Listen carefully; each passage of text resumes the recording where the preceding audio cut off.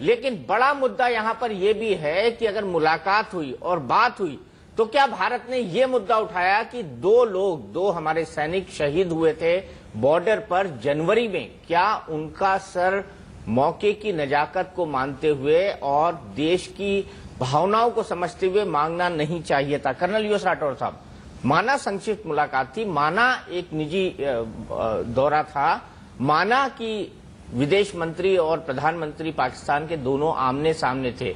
ऐसे में भारत को अपनी चिंताएँ अपनी कंसर्न और देश की आवाज़ उनके सामने नहीं रखनी चाहिए थी। देखिए भारत पाक संबंध ज़रूर चाहे अच्छे हो चाहे खराब हो उससे हिंदुस्तान के अंदर कम्युनलाइजेशन नहीं होता है ये बात मैं साफ़ कर देना चाहता हूँ। अगर पाकिस्तान के साथ हमारे रिश्ते खराब हैं या हम टेररिज्म का सामना कर रहे हैं उससे कम्युनल कम्युनलाइजेशन हमारी सोसाइटी में नहीं होता। ये बात ये धारणा गलत है। दूसरी बात ये मैं कहना चाहता हूँ कि आज का दौरा आज का दौरा ठीक दो महीने के बाद अमरजीत जी मेरी बात सुने। आज का दौरा सिर्फ़ ठीक दो महीने के बाद हो रहा है जनवरी आठ के दिन ये दो भारतीय जवान मारे गए थे, जिसमें से एक का सर वो काट कर ले गए थे। पाकिस्तान से आज तक कोई प्रतिक्रिया नहीं मिली। उल्टा, जनवरी के महीने में उनकी विदेश मंत्री मंत्री हिना रबानी खर साहिबा ने कहा कि हिंदुस्तान वॉर मॉन्गरिंग कर रहा है। हम ये थर्ड पार्टी से इन्वेस्टिगेशन की दावत देते हैं। उसके बाद पाकिस्तान से कोई अपॉलोजी नहीं। पाकिस्तान को हमने कहा कि वो सर वापस किया जाए, उस पर उन्होंने चुप्पी साध ली। और साथ में इस घटना के बाद प्राइम मिनिस्टर मनमोहन सिंह ने कहा कि हमारे साथ पाकिस्तान के नो बिज़नेस यूजुअल बिज़नेस साथ में अभी होगा। या सलमान खुर्शीद साहब ने कहा कि इसका अप्रोप्रिएट जवाब देंगे। कल ही प्राइम मिनिस्टर ने राज्यसभा में यह बात कही। और उसके बाद आप देश की जन भावनाओं को आहत करते हुए एक ऐसे प्राइम मिनिस्टर को बुला रहे हैं आपकी क्या मजबूरी है जिसको छह दिन के बाद जाना है? उससे भारत पाक संबंधों में जो 60 साल से इस तरीके से हिचकोले खा रहे हैं वो छह दिन में ऐसा क्या करामात करने वाला है कि उसको बुलाया जाए और उसके बाद उसको इस तरीके से इस्तेकबाल किया जाए? आप ये बताएँ मुझे। एक मैं छोटा सा उदाहरण देता हूँ। श्रीलंका की एक हाउसमेट थी, सऊदी अरेबिया में काम करती थी। सऊदी अरेबिया के अथॉरिटीज ने उसका सर कलम किया मर्डर चार्ज में, गलत मर्डर चार्ज में। श्रीलंका एक छोटा मुल्क है, सऊदी अरेबिया के सामने उसने हिम्मत दिखाई, अपने राजदूत को वापस बुलाया, जिसके बदले में सऊदी अरेबिया ने अपने राजदूत को वापस बुलाया। लेकिन एक छोटे से मुल्क ने अपने अपने नागरिक की जान की कीमत समझी और उनके सामने खड़ा हुआ। आज ये हालत है।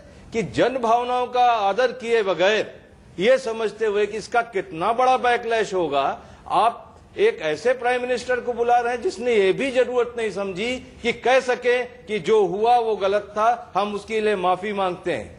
यहाँ तक कि जियारत की विजिटर्स बुक में भी हिंदुस्तान का उल्लेख नहीं है। पूरी दुनिया में शांति चाहिए, पाकिस्तान में शांति चाहिए, लेकिन हिंदुस्तान आतंकवाद की आग में झुलसता रहे उसके लिए किसी को परवाह नहीं है। क्या बात करते हैं इसके बारे में? ये इसको आप कूटनीति समझती दीपक जी मैं कुछ कहना हाँ, अमरजीत कौर जी जवाब दीजिए जवाब दीजिए। बहुत मैं, सही कंसर्न है ये चाहती हूँ कि। इन्होंने राठौर जी ने कहा कि निमंत्रण देने की प्राइम मिनिस्टर को वहाँ के को क्या ज़रूरत थी? कम से कम इस बात को ये करेक्ट करें कि कोई निमंत्रण पे नहीं आया है। वो अपने तीर्थ यात्रा के लिए आए हैं। वो एक सेपरेट इशू है। दूसरी बात, इन्होंने ये कहा कि हिंदुस्तान पाकिस्तान के रिश्ते बिगड़ने से कम्युनलिज्म नहीं बढ़ता। मैं इनसे सहमत हूँ। मैं कहना ये चाह रही थी कि हिंदुस्तान पाकिस्तान की हर बात की रिलेशनशिप को कुछ फोर्सेस हिंदुस्तान में कम्युनलाइज करती हैं। हर चीज़ को कम्युनलाइज करती है, ये मैंने कहा। तीसरी बात मैं ये कहना चाहती हूँ कि यस फॉर्मली हिंदुस्तान को ये सिग्नल देना चाहिए कि आपके यहाँ जो हो रहा है उसके लिए वहाँ की सत्ता इस बात के लिए शर्मिंदा हो। इसमें कोई दो राय नहीं है।